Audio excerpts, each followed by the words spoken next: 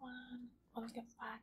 So for today's video, I'm having croissant with scrambled egg and chocolate cookies and tea. Let's start eating.